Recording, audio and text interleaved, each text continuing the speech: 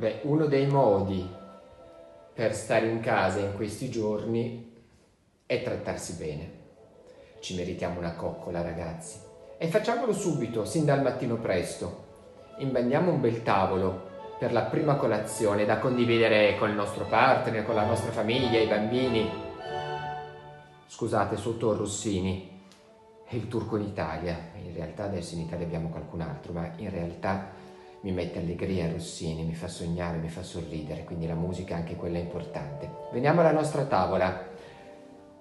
La tazza da caffè latte nel mio caso è da protagonista, bella grande, ampia, che attende il caffè che arriva, bello caldo, bollente, latte di avena nella sua lattiera, cereali, farro, avena, frutta disidratata, frutta secca ne mangio tantissima e anche frutta fresca, fragole e mirtilli che non possono mancare mai tutte le mattine, fanno bene, non voglio fare la Lambertucci della situazione, ma fanno bene alla dieta, così come lo yogurt eh, greco che addolcisco eventualmente col miele se mi va o con della confettura. Se ho ancora un po' di spazio, una fetta biscottata rigorosamente integrale, utilizzerò questo coltello che vedete posizionato in senso verticale e per finire spremutina di agrumi fresca.